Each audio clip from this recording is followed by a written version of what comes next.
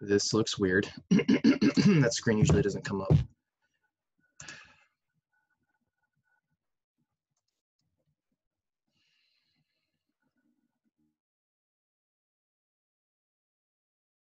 Hmm. All right, I think my computer has got some virus software running right now or something. And by virus, I mean like McAfee, whatever, antivirus software.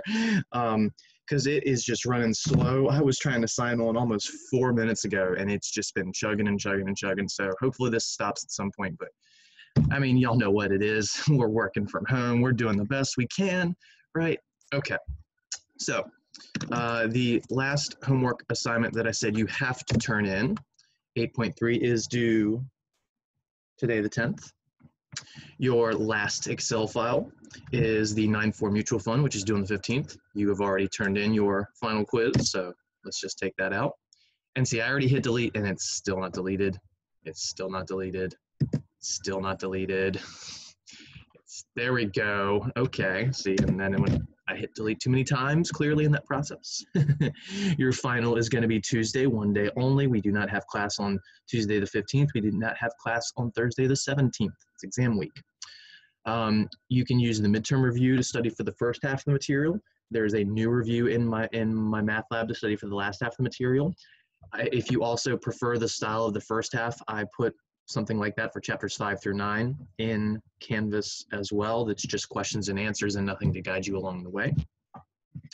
There might be a couple questions in there that uh, won't be on the final because they're in chapter nine. Like I said, I'm going to pretty much stick to chapter chapters one through eight. Anything from chapter nine would be you know basic, more multiple choice type of question. Uh, final is cumulative, no longer than the midterm, 20 questions, two hours, no notes, uh, no books, calculators are allowed. You do want to have that formula sheet printed out, um, or at least available to you. Do not add anything to this formula sheet. Do not change anything on this formula sheet.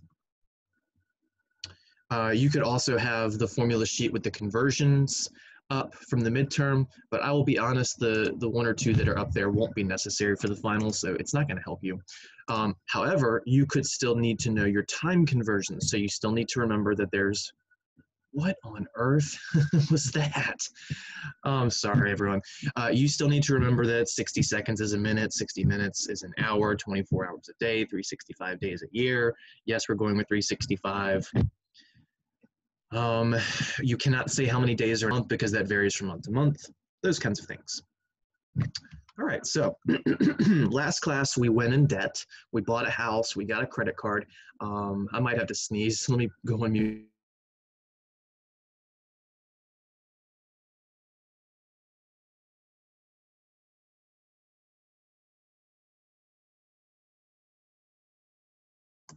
And then my unmute button wouldn't work. Come on, computer, you're killing me.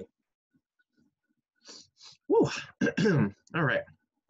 Um, so last class we went in debt, which we usually go in debt before we start building up any real kind of savings in our life. Most of us, not all of us, some of us are able to, you know, work once they they're 15 and don't really spend anything, and then they got five grand by the time they're 18, and they can build and build and build and build and build because they're just frugal. They don't spend a lot of their income and you know that's an exception to the average person and i'm not telling you to be that person i'm just telling you that people are different.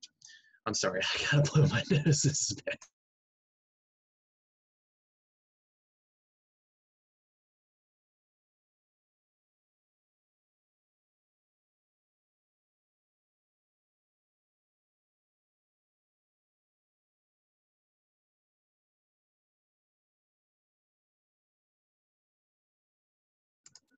all the silly stuff. Okay.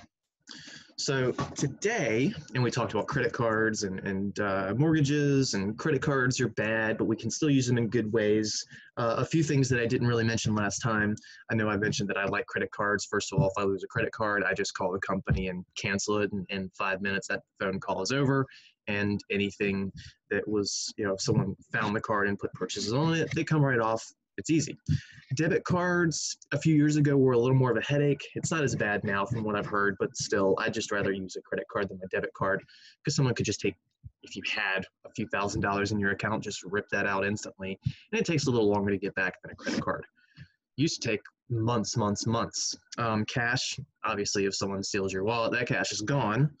So plastic is kind of the way of the future. It's just we have to learn to be able to use it wisely and not pay that monthly interest, pay it down every single month.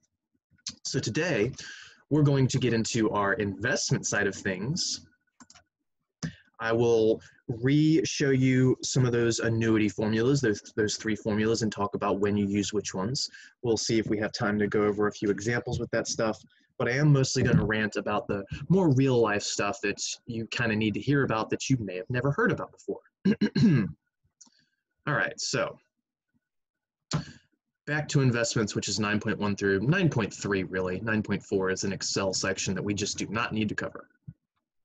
You've heard me mention this word a few times already. We talked about it and used a formula with it last time and used a website with it last time. But let's just take a little bit more time to discuss that. Annuities. This is an account where you add payments on a regular basis.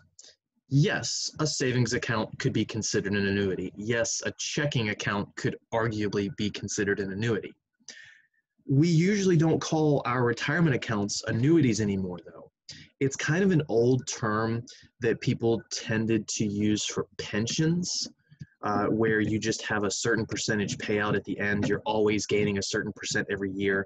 For example, if you had a state job 10, 20 years ago, uh, your pension typically grew at 4% per year, and that never changed. And it's just the state would make their own investments and if they made more than 4%, they just gave you 4%. If they made less than 4%, they still gave you your 4%, and they just hope to make up for it the next year. You know, hashtag 2008 stock market crash because of mortgage backed securities. We don't need to get into that detail. So that's more what the word annuity usually is more relevant for, but we can still use it in a general sense of an account that you add payments to on a regular basis. Now, those pension plans, those 4% per year, no matter what, which is pretty low, whispers into the mic. because um, I've said we want to hit that 7% return if we can. That's the average over long, long times.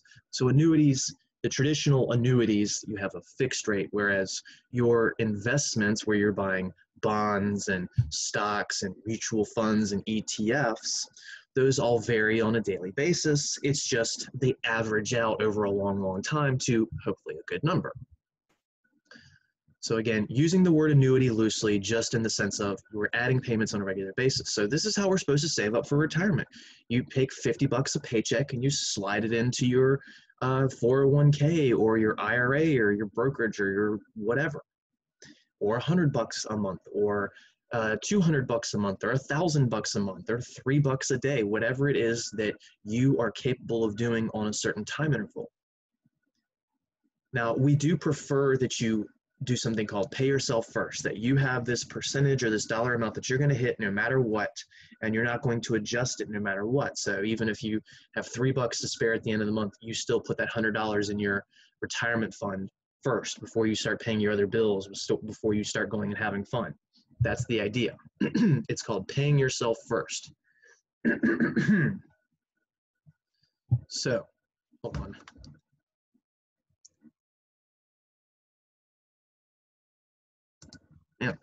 Still kind of messed up from a few weeks ago.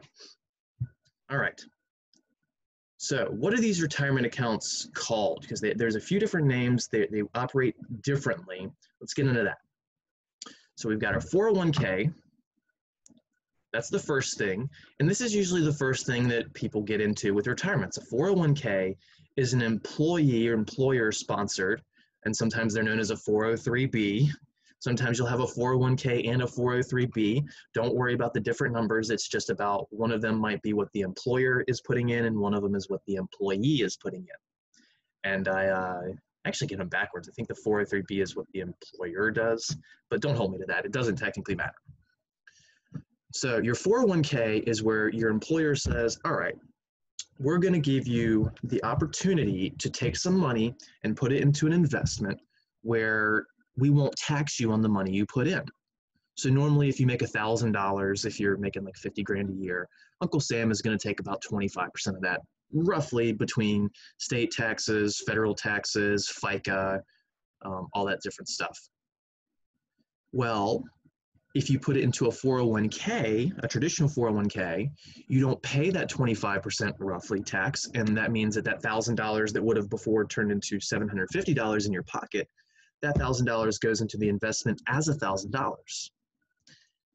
Now, as your 401k grows, you'll pay taxes on the interest when you start pulling it out. So the money you put in is tax free but the interest, the free money you get, you'll pay taxes on that later. You won't pay taxes on the money you put in. That's still tax free. So if you put say $10,000 in and at the end of your retirement when you start getting ready to withdraw you have 30,000, that means that you would have 20 grand you'd have to pay taxes on as you withdraw it. Now if you withdraw it all at once, then you have to pay the taxes all at once. If you withdraw it over time, you pay the taxes over time. So with a 401k, what most employers offer is a cash match. And a lot of them will say, all right, for every dollar you put in, we'll put a dollar in. Then there's others that'll say for every dollar you put in, we'll put 50 cents in. So it doesn't have to be dollar for dollar. It can be you put in a dollar, they put in 50 cents. And it, it could be anything they decide. You could put in a dollar and they put in 67 cents if they wanted to be weird. It's usually one to one or one to two, though, as a ratio. Now, they won't do this for an unlimited amount of dollars. There are maximum contributions per year to a 401k, which currently is $19,500. And that's a lot to be thrown away, not thrown away, throwing into your retirement, definitely not throwing away. That was a poor choice of word. But your employer is probably not going to match almost $20,000 of your of your investment. They'll say, all right, we'll match you dollar for dollar up to $5,000, or we'll match you dollar to dollar versus 50 cents up to two grand, or we'll match you dollar to dollar up to 10 grand. There'll be some nominal amount that they'll match. And you want to take every penny of that you can because that's just more money you're getting.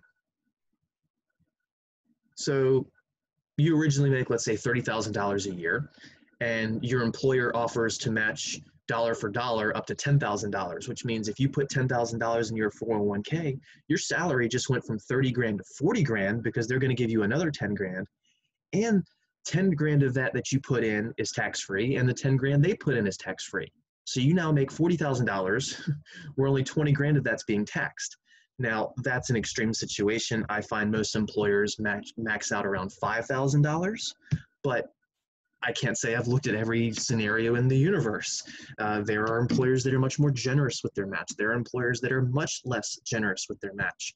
Maybe I know a situation where someone's 401k only matches up to $20 per paycheck and it's uh, and they're only putting in 50 cents for every dollar. Maybe someone's thumbs are pointing in their direction. Um, right, so 401k, this is employer based. So you have to have a job to get a 401k.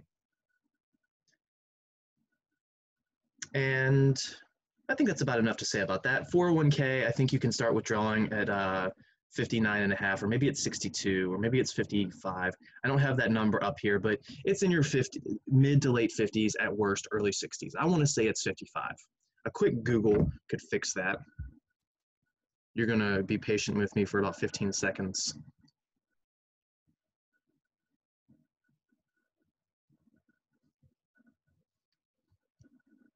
Fifty-nine and a half. That's what I thought. I thought it was the same as IRA. All right, so 401k, you can start withdrawing without penalty at 59 and a half. Yes, you can withdraw before then, but there's all sorts of penalties that we're not getting into the details of in the interest of time. All right, so what's next up on the retirement list? You have IRAs, and Roth IRAs. So an IRA kind of stands for individual retirement account or independent retirement account, something like that. So this is money outside of your job. This is money as long as you have a job, you can invest into a retirement account. But your employer is not going to match any money in this. It's just if you want to put in $5, you're putting in $5. So what's the difference of IRA versus Roth IRA? And the first one where I just have IRA, a lot of people will call that the traditional IRA. But without the word traditional, it means the same thing. So I'm going to scroll down a little bit to where we have, here we go. We're down here. Remember how I said with that 401k, you're putting in non-taxed money, but the interest is taxed? That's the same as with your traditional IRA, the first one. You're going to put money in, I'm sorry, I, I said first, but I have them backwards. I did not realize that. So let me just highlight that one. With a traditional IRA, you're putting money in that is tax free. So if you earn $1,000, you put $1,000 in. That $1,000 doesn't turn into 750 because Uncle Tam, Uncle Sam takes his slice. It's just $1,000. Now you might say, well, Mr. Beckner, my, my paycheck already took those taxes out. So how is it that I haven't paid taxes on it if my paycheck took it out? Well, you see, Bob or Jane, at the end of the year, when you file your taxes, you'll get that money back. That's how it works. Yeah, it'll come out of your paycheck at first for these IRAs, but then at the end of the year, you're going to file your taxes and you're going to say you put money into a traditional IRA, and they're going to go, oh, okay, well, we owe you some money then. Here's those tax dollars back. So a traditional IRA is most similar is more similar to a traditional 401k in that you put money in that's tax free, but then any interest you get would be taxed. So the free money you get for investing is taxed. And that's not the end of the world. A lot of people make a ton of money with traditional IRAs. Some people that make buttloads of money every year, like 200 grand a year, have to take a traditional IRA. They don't have the option of a Roth. If you're young, especially, and you're not making $200,000 a year, Roth, in my opinion, in my highly educated opinion, Roth is the way to go because you're going to put money in that is taxed now. You're going to go ahead and pay that taxes on the dollars you put in, but then the interest grows tax free. And we have seen all these scenarios where we can put like 60 grand in and have it turn into a million dollars over 50 years. Or uh, maybe we put like 200 grand in and have it turn into a million dollars over 30 years or 35 years. We've seen these scenarios. And we've seen that the amount of interest we get when we have good growth, when we have good time, the interest is massively more than what we put in. So, me personally, uh, my mindset is I'd rather pay the taxes on the smaller amount and then get tax free the larger amount. Now, there are different schools of thought. Some people will say, well, Mr. Beckner, with that traditional IRA, uh, couldn't you, when you get your tax money back, couldn't you invest those dollars as well to kind of counteract it? And yes, you could. There's some crazy math and some crazy predictions you have to make to try and say which one is officially better or worse. But most people don't end up reinvesting those tax dollars back um, just because of our typical American mindsets. So that's why I think the Roth is the better way to go, but I'm not telling you what to do. This is not advice, this is education. no lawsuits. So a Roth IRA, once again, is where you put money in that you're already going to pay the taxes on. So if you put $1,000 in, you're not getting a refund on that $250 come tax day. But the interest you, gr- you grow over time is all going to be free tax to you. So if you're a really good investor and you put $1,000 in and it turns into $30,000, that's 29,000 you're not paying the taxes on. I'd rather not pay the taxes on 29 grand and pay the taxes on 1 grand. And uh, I was actually talking to someone about 20 years old the other day, maybe related to me, and uh, they were like, "That sounds like a that sounds like a scam. Like, are we scamming the government? No, we're not. That's these systems are set up to give us lower income people advantages. That's why there's an income cap on these Roth IRAs. If you make too much money, you don't get this advantage. Now, it's pretty difficult to make that much money. The average American is not making $200,000 a year, but you could certainly work towards it. And then I hope at that point you're going, yeah, I don't really need that break anymore. I'm okay. I got $200,000 a year coming in. Now, I said your 401k, the most you can put in currently is 19,500 per year. With an IRA, whether it's Roth or traditional, your max is six grand per year. Now, these amounts will change over time. In fact, the IRA amount just changed to six grand uh, I want to say in 2018 it was 5,500. Maybe it was 2017, but it was just a few years ago. I'm going to say 2018. It was 5,500. So maybe in a few years it goes to 6,500. I don't know. I can't confirm, deny, or predict that. So your 401k, your Roth and traditional IRAs, these are the best things you can invest into first. And I would say, depending on your mindset, the 401k is the thing you hit at first because you get those cash match uh, contributions from your employer.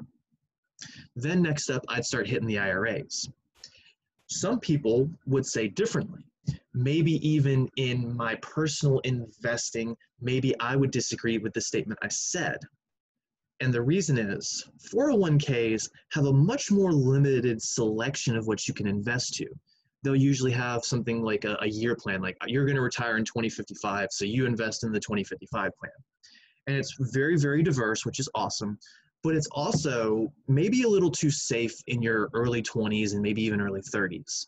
Again, maybe too safe. I'm not saying safe is bad, but maybe you notice that you've got a 401k and an IRA, and your 401k is getting you like 9% per year.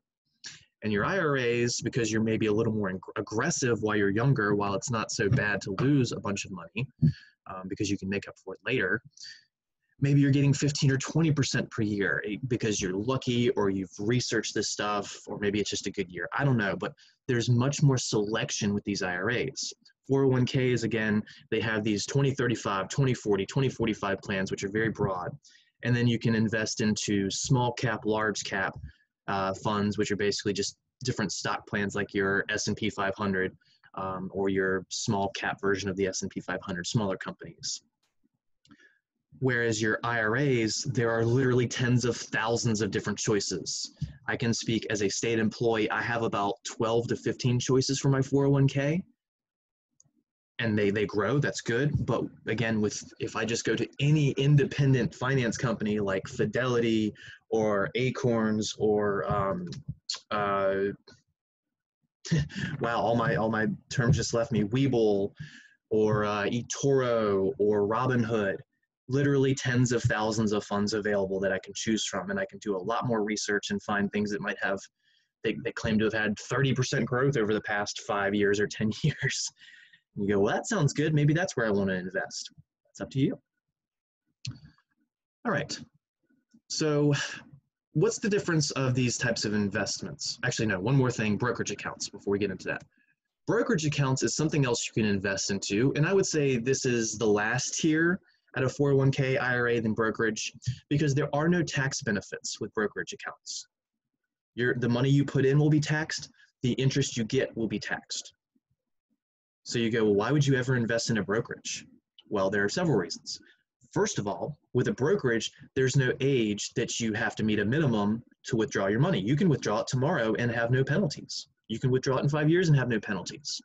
So maybe you want to, you've saved up money for 10 years and then you want to buy a big fancy house and put 20% down. And you go, well, I got 50 grand in my brokerage. Let's use that as a down payment. Maybe that's your decision.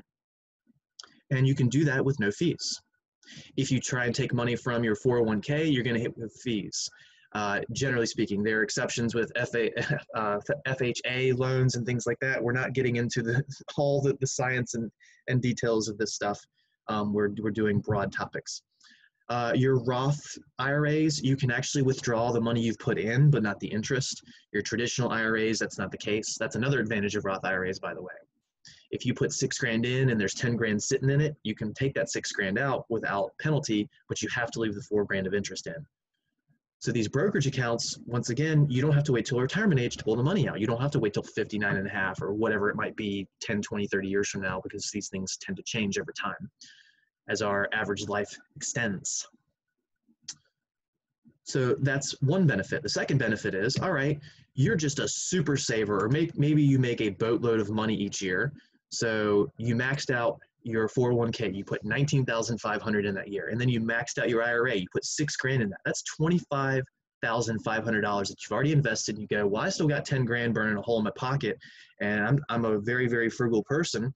So you go, well, let me throw it in a brokerage instead of throwing it in some crummy savings account earning 0.2% or a, or a checking account earning nothing or, uh, or bonds maybe earning 2 to 3%, which we'll get into in a minute. So again, yeah, you'll pay taxes on the money you invest. So basically the money from your paycheck, you already pay those taxes. And then whenever you start withdrawing it at the end of the year, you'll have to pay taxes on whatever you withdrew. But if you're getting 20, 30% returns, is it really awful to be paying the taxes on that? No, that's insane growth. Now, again, I'm not guaranteeing you can hit that. Maybe you're just going to hit that 7%, but even still, paying taxes on 7% just means you're really getting like 5.5%. Ooh, that's still free money, and that could be a ton of money. So there are benefits to the brokerage account. Um, here's that thing I said about your Roth IRA that you can pull money out without a penalty uh, if it was what you put in, but you can't pull out growth, you can't pull out interest. Now you might say, well, Mr. Beckner, how do I tell them that I'm pulling out the money from what I put in and not the interest? It's automatic. It's automatic. That's the cool thing. Uh, one last type of bigger savings uh, plan is your college savings plan, the 529, which is tax deferred as well. The money you put in is tax free. So you get that money back at the end of the year, um, the tax portion, that is to say, not the whole thing, just the tax portion. Um, and that's if you have kids that you want to send off to college in 10, 15, 20 years. You also have, some people will call their, uh, oh, I can't think of the name the HSA, your health savings accounts, and investment. And, and you can argue that. I don't really want to get into that details because HSAs work very, very differently from employer to employer, from a health insurance company to health insurance company, whether it actually rolls over from year to year or not. So I want to avoid that topic. All right, so I keep talking about these mutual funds. Mutual funds are bundles of stocks. Also, there are ETFs. ETFs are bundles of stocks as well. They're literally the same thing except for one main key feature. There, there are other differences, but the key feature is when you actually trade them, whether the trade goes in at the end of the day or the second you do it. Mutual fund trades go in at the end of the day, ETFs go in instantly most days there's really not a big deal between them. It's only on like critical days where the market's crashing 10% or we see some crazy 8% growth that day where that might make a difference. But they're both awesome. Mutual funds and ETFs, both awesome. Uh, buy as much of them as you can over your life to make lots of money, in theory. Bonds are your safer investments, which have much lower average returns. Bonds are money that you're lending someone else. You go, well, isn't everything else pretty much the same? Yes, but in most cases, bonds are where you're lending the government money. So government issued bonds, and you might, a lot of people think, all right, well, I got to go to the bank and buy this piece of paper. No, you can actually buy these through your retirement accounts as well. There are mutual funds that have bonds in them. There are mutual funds that you can buy that are you owning property essentially. You're buying a bunch of people's mortgages. So you're arguably owning a very, very small slice of some of a whole bunch of people's properties and things like that. Um, and again, if all these little details are, I'm just going too fast, I highly encourage you to go to YouTube or just the internet in general and, and just Google things like, you know, what's a bond? How do I invest in bonds? Uh, what are in bonds? What do they grow like? And there are plenty of people out there that will take much more time explaining things um, and, and educating you. I just have so much time on my hands. So a lot of people will say, all right, you should be buying bonds and you should be buying mutual funds and maybe you should be buying some individual stocks as well. That's your retirement plan. Some people will say you need a 30% bond, 30% mutual fund, 30% uh, cash plan. Some people will say you need 50% bonds. Some people will say you need 10% bonds. Again, this depends on how aggressive or how not aggressive you want to be. Bonds are for your not being aggressive phases. So when you're older, when you're retirement age, when you don't want a market crash to affect you nearly as much, maybe that person would want 50, 60, 70% of their investments in bonds. When you're younger and a market crash isn't going to affect you because you're not even going to be withdrawing any money for 20, 30, or 40 years, if you've got $10,000 in and you lose half, now you're 5,000, that's really not a big deal considering that you're still going to be a millionaire later if you follow the suggestions I've made over this course. And as long as, you know, America doesn't go downhill. But you're not going to become a millionaire on bonds. In general, not as, not as easily at least. So again, I'm not telling you to not buy bonds at all, um, but it is generally generally accepted that you should be buying more bonds as you age because you want to be safer as all right i've got a million dollars now. If the market crashes tomorrow that means i lose $500000 you know over a week or over a month or something like that. Maybe i'm not not all crashes work that quickly. Some of them take a long time to, to drain you away. But again the point is it's not awful to suffer a crash in your 20s or 30s or even 40s especially because we have recovered from every single crash we've ever gone through. And usually, right after a crash, things accelerate and grow back. So you might lose that $5,000, and then in two years, you get every penny of it back. And while you were investing while the market was essentially on sale, you will grow even more. So there's benefits to buying during a crash as well. And again, this are not this is not advice. this is just telling you things that can happen. Go and do your own research and make your own decisions. All right, so I've said these places out loud a few times. Um, one I haven't mentioned before is Vanguard. There are numerous places you can go to get your mutual funds and other retirement accounts with. Uh, Vanguard and Fidelity, the two biggest ones in my opinion. Then you've got uh, Robinhood, who really changed the game. It used to be most retirement accounts, you'd have to pay $5 for a trade, and fees and percentages were larger and such. Then Robinhood came in several years ago and said, no, we're not going to charge any fees. Now we're going to lower our percentages. And then everyone else pretty much had to do the same thing. And then you have uh, companies like Acorns, where they'll do this roundup feature where if you go to the store and you put $4.60 on your card, you can use Acorns to just call it $5. And now you've put 40 cents into investments without even thinking about it.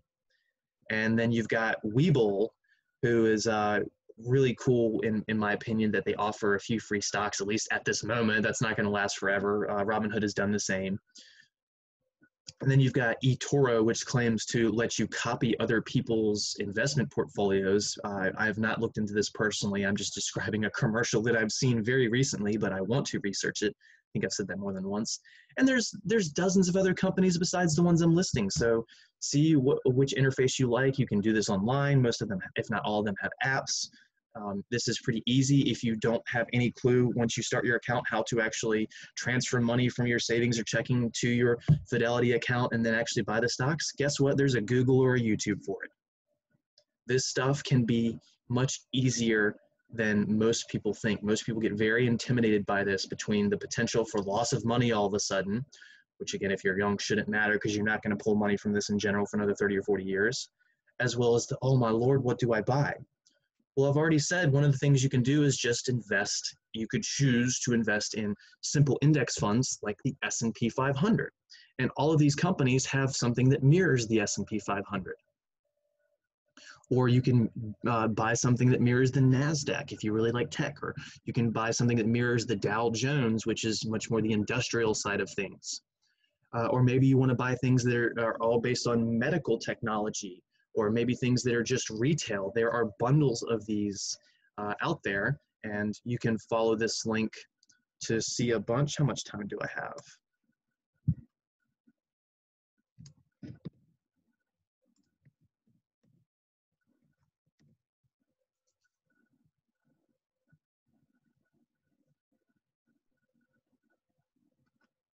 Here we go.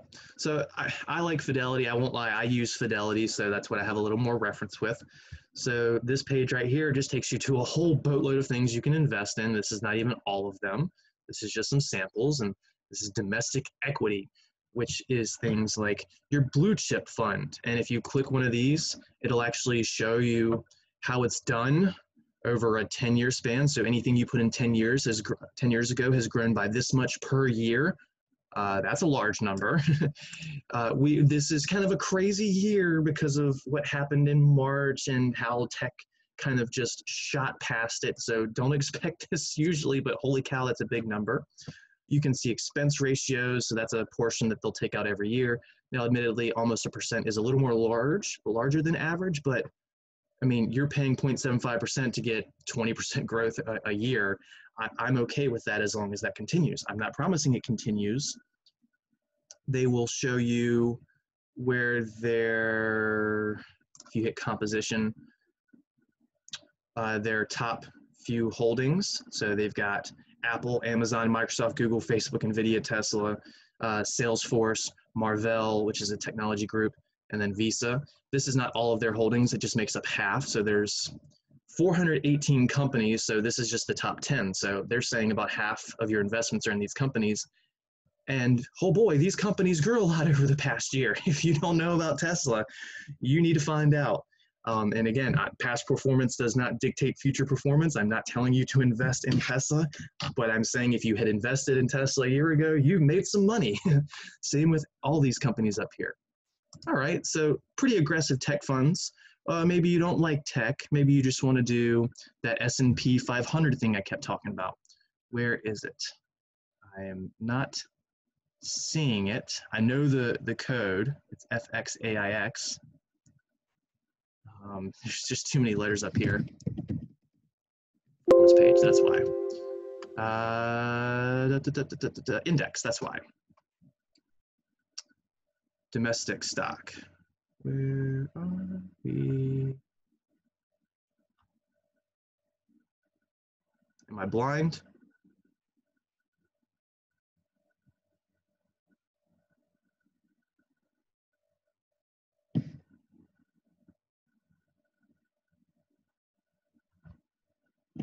All right, so I'm just gonna hit search FXAIX because I know what that one is. I'm just trying to rush and I, it's not working for me. So here's that thing that mirrors what I call the S&P 500, which again, traditionally returns 7% over a long span of time. Right now, we've had really insane growth over the past 10 years, so it's about twice what it normally is. So a lot of people will say, hey, expect this not to, not to happen much longer. And again, past does not dictate future. Who knows? Maybe things are going to change, maybe not. I don't know. Uh, you could just buy a little bit of every single piece of stock out there that's not a penny stock. So back on this page, uh, under index, I swear that should have been on this one. Uh, FSKAX. Oh, there it is. I, I am blind. There it was. this is the total stock market. So this is buying a little piece of every stock on average worth more than a dollar. And look, even that's grown pretty well. I mean, I'm just trying to show you that these numbers aren't made up. I didn't pull these out of thin air. We've had pretty good growth over the past 10 years. Every uh, when you buy a little bit of everything. Now, if you buy 10 stocks, I can't promise you those are all going to go up. Maybe they will all go down. If you bought uh, something like Nikola, yeah, you had a bad time. Why is that happening? I didn't click anything. So that's why we suggest that people buy mutual funds, um, or at least consider the option of buying mutual funds. I'm not telling you what to do. Because when you buy bundles of stocks, some will go up, some will go down, but on average, you have more going up than down. And the stronger companies go up significantly to make up for the weaker companies going down, and you still make money. Now, maybe you just invest in Apple and Tesla and you make $10 billion in three years because those are some of the best growing stocks. But again, who knows what happens two years from now, five years from now, 10 years from now. Maybe you do a little a bit of both as you learn. Maybe that's a good idea.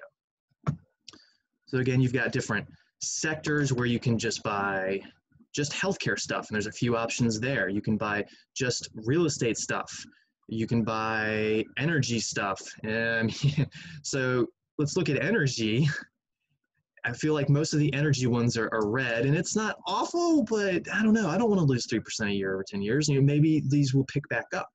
A lot of people think energy is struggling right now because we're getting ready to shift the, the winds to from oil to much better much better resources, electric cars and things like that. So maybe that's why oil is struggling. And again, I'm not telling you things, I'm suggesting reasons for things that are happening. Financial portfolios, information tech, um, I, I mean, tech has done pretty well over the past 10 years. That's not bad at all, 21%. Uh, here's another tech one. 20%, but the one year growth has been better in this one than the other one. 37 versus, sorry, I'm looking at the year to date. 40% versus, come on, computer, you're killing me.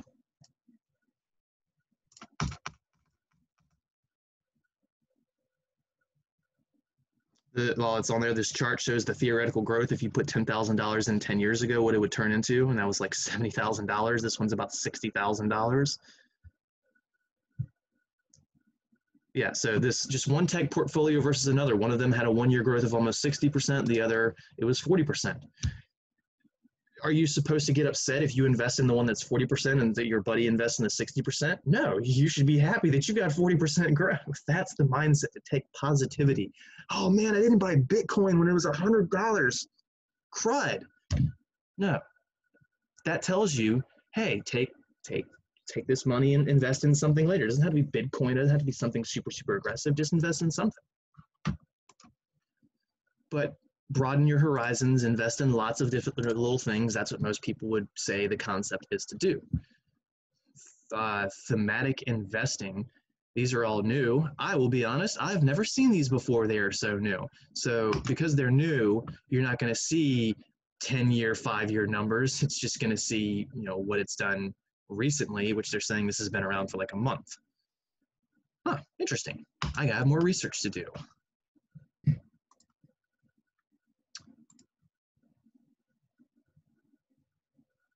So those were all Fidelity funds. If you buy, if you have a Fidelity account and, and buy Fidelity funds, they don't charge you fees. If you get a Vanguard account and buy Fidelity funds, they're probably going to charge you a fee in most instances. Vanguard would have their own sets of funds. They won't be exactly like those Fidelity ones. They'll have the index funds that mirror the S&P and the Nasdaq and the Dow and the total market, but they won't necessarily have that same technology fund. They won't necessarily have that same energy fund that I showed you. So we gain, most people are gaining money on that interest. And that's what we saw with that growth, the $10,000 turning into $70,000 because every year on average it was growing 21%. Not saying every year it grew 21%. First year it might have grew 10. The second year might have grown 30. The, the next year it might lose 30%. Then the next year it might gain 80%. It's just saying it averages out to that 20% number. But that's not the only way that we gain money in stocks. We can also gain money by something known as dividends, which we did some math with dividends one time, a long time ago. Um, but this is just money that you get for free because the company is profitable. So many companies will say, hey, we made some profit. We're going to pay back some of this profit to our investors. So you have your interest from other people buying the stock, from it being uh, well sought out after. And then you have dividends where some companies go, hey, we made a million dollars this year. Let's give a dollar to each person holding a share. And they give you money based on shares. Some companies might give you three cents per share. Some people might give you $5 per share. It depends on how profitable and how generous they are. Not all companies offer dividends on their stocks or mutual funds. Amazon does not offer dividends. Amazon doesn't do a lot of things that Amazon should be doing, in my opinion, like paying their employees better or giving them better working conditions or yada, yada, yada. But let's not get into that. Uh, and there are plenty of companies just like Amazon in that regard. I'm just naming one because it's one of the biggest companies out now. So some people will say, I really like dividend investing because then I can just take those dividends and pocket it and, and live off of that maybe. Or you could take your dividends and reinvest. One thing I've noticed is that a lot of companies in the energy sector will pay really solid dividends, but the counterbalance is that they're in the red each year with their interest. They're, you're losing a little bit each year. So you might get 7% dividends, but then you're losing 3% per year. So basically, that means you've gained 4%. It's not awful, but maybe you could have gained better money somewhere else. And again, I'm not telling you to not dividend invest. I'm telling you to research it, consider it, and make your own decisions. So one of the most important things for you to do is to figure out this retirement game. Do some research. Hopefully I've helped a little bit here. But I can only say so much without actually starting to give advice, and I'm not allowed to give advice. I'm allowed to just give perspectives. Um, so we, we started out with that simple idea of, all right, take your Starbucks cup of coffee, $3.50 a day for 50 years, and you become a millionaire by investing in things like this. Maybe quicker if the market's better, uh, maybe quicker if you make better selections. I don't know. But then I also said, well, one another thing that you can do is you can bump up your investment over time. When you're 18, $3.50 a day is a lot of money when you're 40, if you've been financially savvy over time, $3.50 a day shouldn't be a lot of money anymore. Maybe you can start putting in five bucks a day or seven bucks a day and hit that million sooner or turn your goal into $2 million maybe or something like that. But one thing that is ultimately important, and this is one of the number one issues of the American besides not having their three to six month emergency fund sitting in savings for like I said, emergencies. Um, what is it? 90 or 95% of Americans can't afford a thousand dollar emergency that happens just right now. Uh, the other issue is credit cards. People have credit card debt on average eight to ten thousand dollars worth of debt per person. Oh my lord! Oh my lord! Please pay off your credit cards now. I'm crying for you if you don't pay off your credit cards. um, and the third is mo money, mo problems more officially known, not by the, the wise man once said, but as lifestyle creep. All right, so you're 18. You're you're living off a $10 an hour job or less. And you're you know you're you're living with your parents and you just can't buy a lot of things and then you get out of college and you get your $40,000 a year job and you get your apartment and your slightly used car and your whatever else and you start paying off your student loans and you go well, I'm making $40,000 a year now instead of going out on Saturday and spending 10 bucks I'm going to go on Saturday and spend 100 bucks or instead of buying that $10 pair of jeans at Old Navy I'm going to buy the $100 pair of jeans that I don't know, name a store where you get a hundred dollar pair of jeans. Clearly, you know where I'm shopping. And ten dollars is exaggerated, maybe 20, 25. That's that's that's more average, you know. But you get the point. Was it H and M? You can go and get six dollar shirts instead of going somewhere else and getting fifty dollar shirts. So again, most people they start making more money, and that means they start spending more money. But unfortunately, we don't build our our um, our, uh, our monthly budgets or our yearly budget or whatever it is you want to do.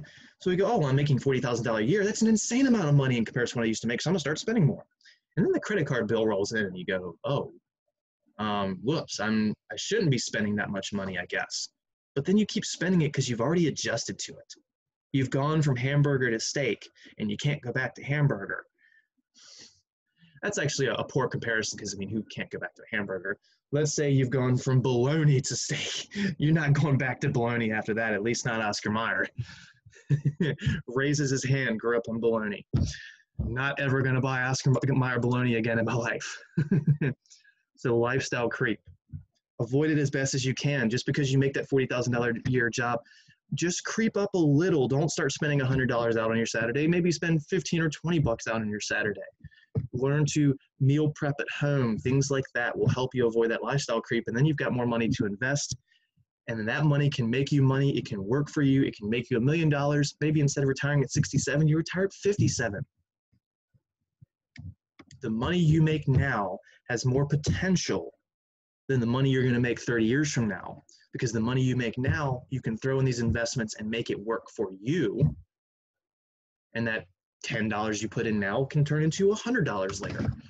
Let's go to our annuity calculator. Spell annuity correctly first. Da -da -da Let's say we invested $1, just $1 at our average 7% return accounted for inflation, which would be 9% if we assume 2% inflation. And this is a dollar that we put in when we're 18 and we plan on retiring at 67, so 49 years. Look at what this one dollar will turn into. $68. And that's with the, again, this historical average that maybe you can beat, maybe not. I'm not telling you what you can or cannot do. I'm not telling you how to do it. I'm giving you options to look at past performances and, and, and make decisions based off of that but the one dollar you put in today is worth $68 in the future now you might say well that's in future dollars well let's let's turn this 9% into 7 so that would count that would account for inflation and now we're thinking in terms of our dollars now so that one dollar you invest today is now almost $30 later. So what would you rather have your dollar today or $27 in the future? And you're not just going to invest a dollar today you're going to keep adding to the pile. So you, you got a dollar that you start with or you start with $20 now and then every month you're going to add uh, $100 in. Whatever something like that. Oh there's $472000 oh well you know mr beckner eventually eventually i can add more well you'd have to you know do this for 20 years and then for 29 years and you can adjust for this or you can do it in excel you go well mr beckner i'm capable of putting $200 a month in right now so adjusted for inflation and all that, now you've got almost your million dollars later. Oh, Mr. Beckner, I can't handle that. All I can do is 50 bucks for now. All right, so this account where you're doing 50 is going to earn you $236,000 by the by the time you're ready to retire. And then hopefully you've got another account that you've been adding to that, or you've been adding to this pile and this just isn't accounting for it. Put very little increments of money over a long period of time invested in the right place. I'm telling you, will make you money. All right. Pay off your credit cards, invest wisely. Oh, uh, here was just a, a quick YouTube search I did, how to invest in Fidelity, and the second one, how to buy stock in Fidelity, takes you step by step through it. it Doesn't have to be stock. It's also mutual funds, bonds, ETFs, whatever. Which, by the way, I don't think I said this, but I want to see where it is in writing. Da, da, da, here it is. Your IRAs, your Roth IRAs, your brokerage accounts, all of them can access the exact same mutual fund. So if I have a Fidelity account and I wanted to buy that FXAIX, which was that S&P 500 mirror, a little piece of the top 500 companies in our country right now. If I wanted to buy that, I can buy it as an IRA, or I can buy it as a Roth IRA, or I can buy it as a brokerage. There are just little drop-down menus in, in Fidelity to do that, or in Vanguard, or in whatever place you choose to hold your accounts. You can hold accounts in separate places. Now, if you have a Fidelity and a Vanguard account, you go, well, all right, if I can put $6,000 into an IRA, that means I can now put 12,000 because I have two accounts. Wrong. it's 6,000 across all of them. So if you put 6,000 in a Vanguard IRA and then 6,000 in a Fidelity IRA, the tax man's going to come after you at the end of the year. So don't do that. 6,000 total. All right, let us remind ourselves about these formulas. Whenever it wants to pull up, there we go. Good lord, this computer is just moving at a snail's pace today. The four that we've used the most were these three and then this one. These three are for one-time investments. P means a one-time borrow or lending situation, whether you're borrowing the money or you're the one putting into the savings account, whatever. It's a one-time investment. So you use these three formulas when it's a one-time investment. Well, how do you go from there? How do I know whether you use first, second, or third? Well, use the first one when it's compounding annually, which means the n is one, so we don't need to see the n. We use this one when we're compounding n times, but also these are for when we know the starting value because we have the p. This third one is when we know the ending value. And if you say, well, what about if it's compounding annually? Then just remove the n or make the n one.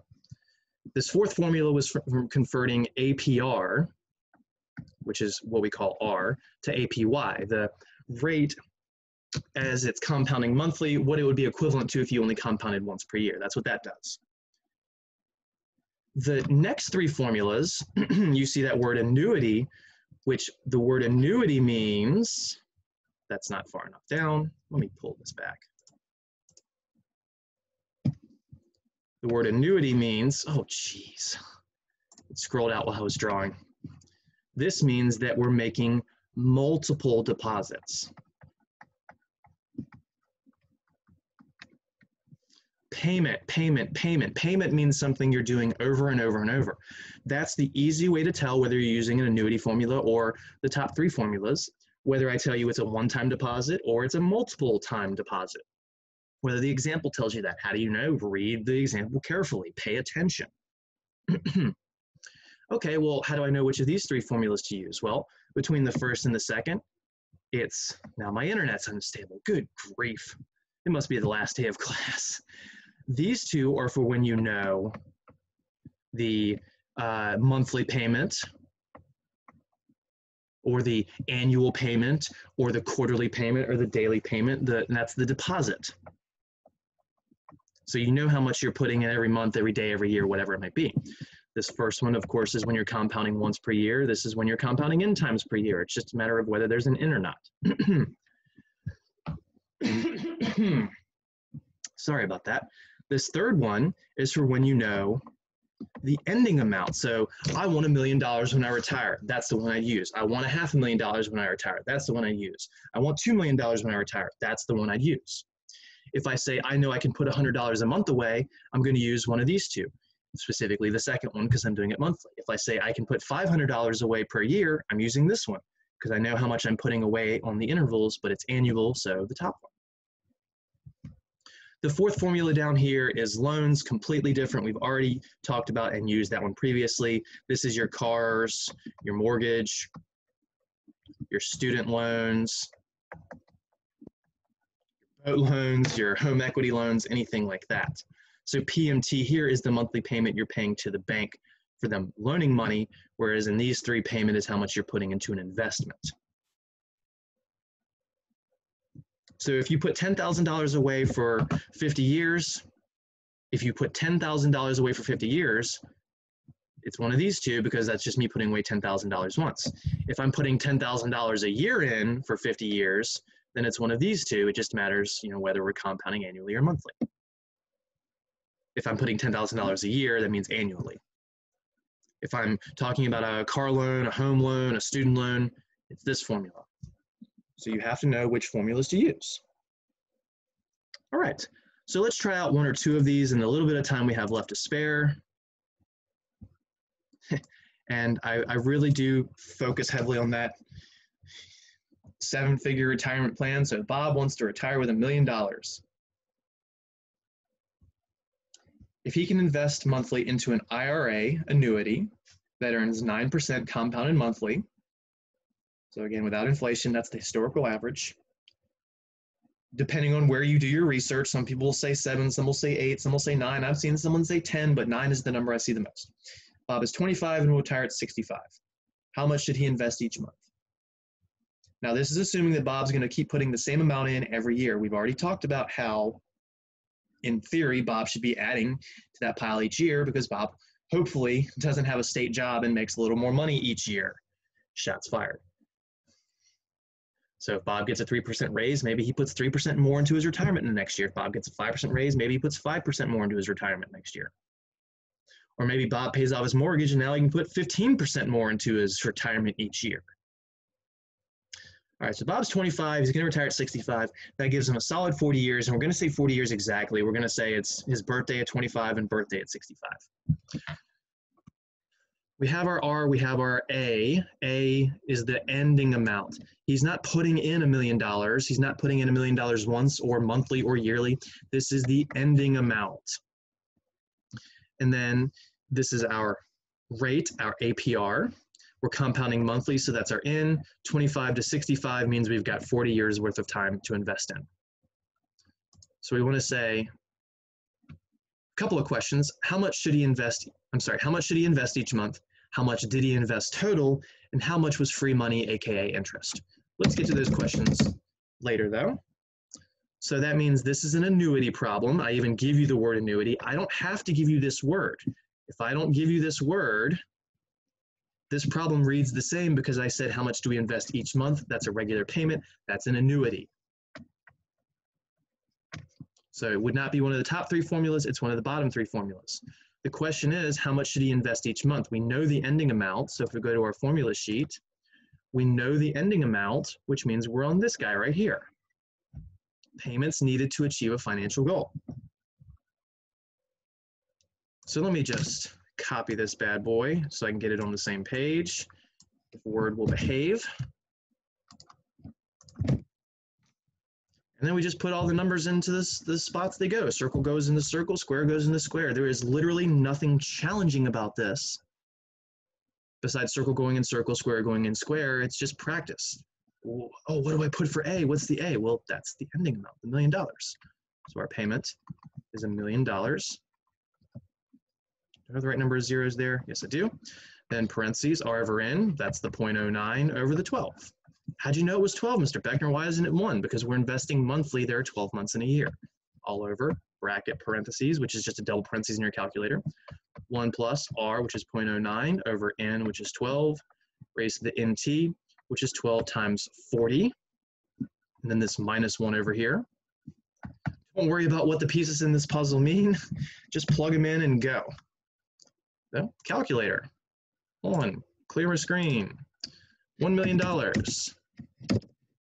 $1 million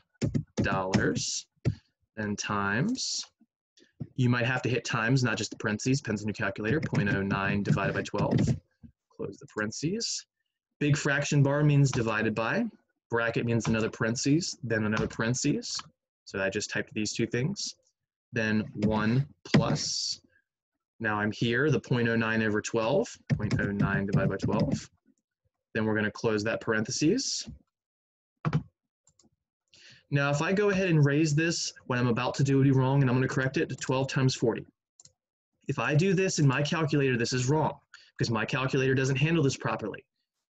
What I'm really supposed to do is pre-multiply that exponent, and 12 times 40 is going to be 480.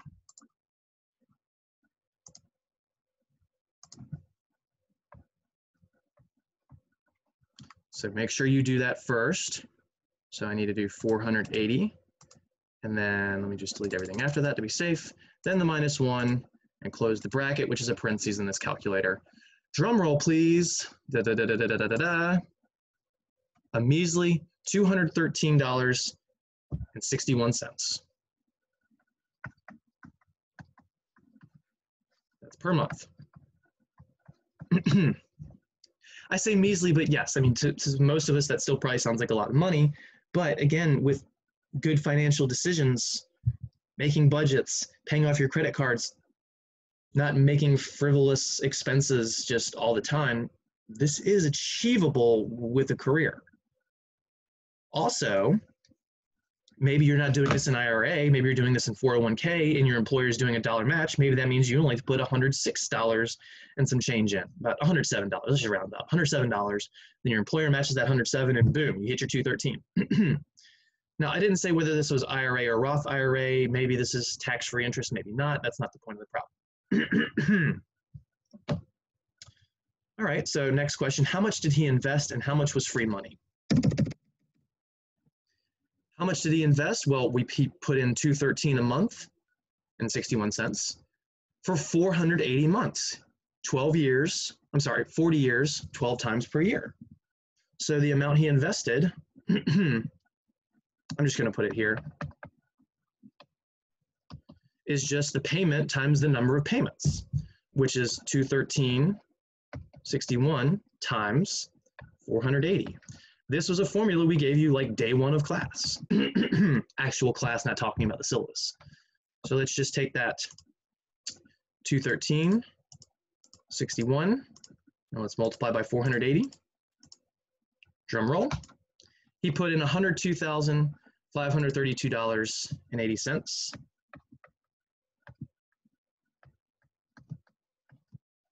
And then the interest, the free money, would be the difference of what he ends with, the million dollars,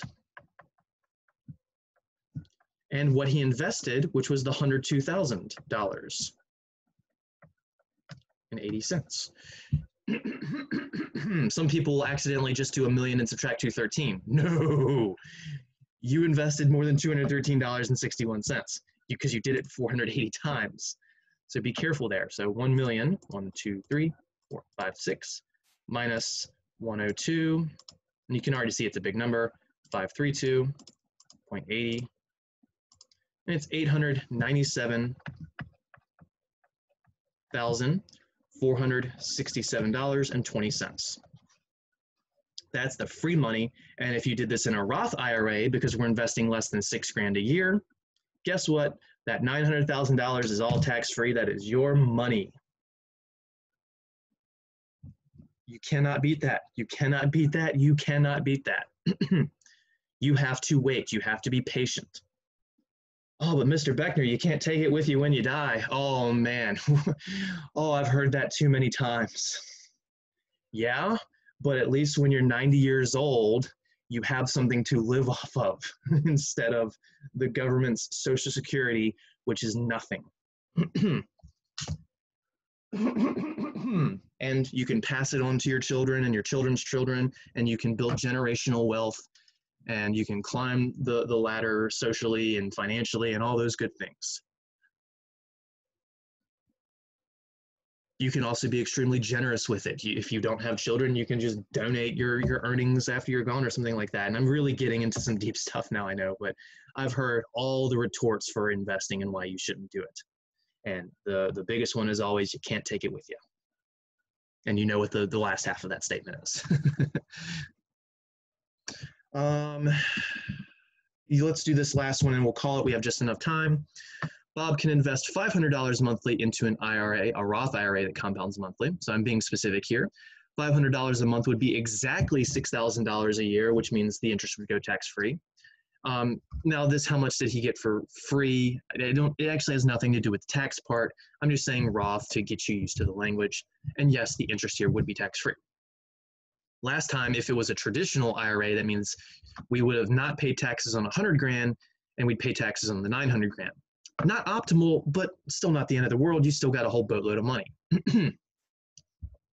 and maybe there are ways you can talk to a financial advisor not your math teacher maybe there are ways that you can lessen your taxes on that if you are paying taxes on that 900 grand over time all right so $500 a month this is not how much he wants at the end. This is an initial amount. But it's not just a one-time deposit. It's an over and over deposit which means it's an annuity. So we're using the formula with a payment in it. And we're compounding monthly. We're investing monthly. So that means we cannot use this one, this is compounding annually. We're on this compounding n times per year. So this, highlight the whole thing, Rodney. This is the formula we'll use this time because it's a repeated deposit and we're compounding monthly. Da, da, da. Sorry, I know you see the numbers there. Just ignore them for a second. Bob is 35 and will retire at 65, which means he's got 30 years. This $500 would be our payment. Uh, it's going to get 6% return. So maybe Bob's a safer investor. Maybe Bob invested in bonds more than someone else while he was younger or something like that. Or maybe the stock market just didn't return uh, as much over his life. Again, past does not dictate future. There's our R. Uh, N is 12 because we're compounding and depositing monthly. FYI, for the math, these have to be on the same interval. In reality, they don't, but for these equations, they do. It's oversimplified. Uh, so same thing, how much will Bob have to retire and how much is free money? How much is interest? Actually, not the same as last time. This is different. How much will he have to retire? That's the A. So our numbers, the payment's 500, the time is 30, the N is monthly of 12, the R is 6%, so 0.06. So that means when we plug these into the formula, again, I'm going to do this kind of quick. We're going 500 bracket parentheses 1 plus 0.06 over 12. Please slow this down on YouTube if you have to. Then raised to the mt, that's 12 times 30 minus 1. Then all over parentheses r over n, which is 0.06 over 12. You might go to the internet and find a formula that's slightly different. That's because there's assumptions made here you can see some really crazy formulas on the internet. All right, remember you need to pre-multiply this exponent, so the 12 times the 30, please note that that's 360. So that's what I'll type in my calculator to make sure there's no errors. 500, double parentheses, 1 plus 0.06 divided by 12, close a parentheses, raised to the 360, then minus 1. Be careful if your calculator makes a true exponent where it's smaller and above, you'll have to hit right then the minus 1 close the bracket, divided by parentheses, 0.06 divided by 12, close that parentheses, drum roll, 500 million and some change. 502, 257, 52. Oh, that's horrible. He doesn't have a million dollars. Well, that's less time and a smaller interest rate. He's making more than double the payment in the previous scenario, and he's still only halfway there because less time and lower interest rate. If you are 18 or 20 or 25, start yesterday. If you're 35, start today. If you're 45, do whatever you can. If you're 55, do whatever you can. You still have time to make up for this, but you'll have to make larger deposits or retire later. How much is free money? Oops, spoiler alerts. There's our A. I had that typed up. So the interest, well, first of all, we have to know what the total invested is, which would be the monthly payment times the number of months. There's 360 months in 30 years. 500 times 360 would be 180,000. Oops, that wasn't an answer to anything. It could have been, but. and then the interest is the difference of what we invest and what we earn, backwards order. So 502, 257, 52, minus that 180,000. 502, 257.52 minus 180 grand. And that's 300 some change, 322, 257, 52. I mean, that's still a decent amount of free money, and in a Roth IRA, it's tax free, but it's not as good as the previous scenario. Again, the previous scenario was a longer time. So you have more time at the beginning to make riskier investments, and maybe that's how you got your 9% return. This scenario is less time, so we have to make a bigger deposit, and maybe we only get 6% because we're a little safer. Maybe we're too safe, arguably. Or maybe the market just sucked over that 30 year period. But still, quote, sucking still earns you $300,000. So I wouldn't say it completely sucked. sucking, in my opinion, would mean you lost money. You now have less than $180,000, which is pretty rare. All right, so on that bombshell, um, I'm gonna put a problem up here on screen. You can pause this. Actually, no, I don't have the details up here. I thought I had it written down. I just have the amount financed. Never mind, ignore it. We we did a house problem previously, so that's good enough last class. All right, so I know this was a lot to take in all at once. I really hope that maybe you'll replay some stuff on YouTube, maybe slow it down, maybe do your own research. I hope I've encouraged you over the course of this class to do this stuff, to do your research, to invest. Anything helps. Anything helps. Please don't be the average American. If there's uh, one goal I have in my career, it's to help people. And it's either help people learn algebra and learn calculus to become engineers and scientists, or it's to learn basics of basic principles of finance so that they don't go to retirement age and not have anything besides Social Security or maybe a crappy pension. And I use the, the word crappy there subjectively. Um, it's still better than nothing. All right. It has been an absolute pleasure. I know this has been a weird way to, to teach and learn for everybody. I hope that I've made the best of this scenario as we possibly can. I hope that you've learned something. I hope that you're more functional with Excel or finance stuff or just basic principles, cost analysis in the grocery store, you know, which product should I buy? That was a really easy thing. Simple ideas of proportions and percents, understanding that when you see numbers and graphs in the news, often they're meant to mislead you. Think analyze, reason, ask yourself, does it make sense? Be learned. I know that sounds uh, silly, but be learned. All right. Good luck with the rest of your assignments. Good luck studying. Email me with any questions. The final is Tuesday. You know what it's up, what's up. Be prepared. Submit your work in Canvas. Email me if you think you need partial credit on a question or two. Uh, if your work shows that you deserve it. Have a good break after this is over. Good luck with the rest of your exams. I wish you all the best of luck in your lives. Be prosperous. Take care, everybody.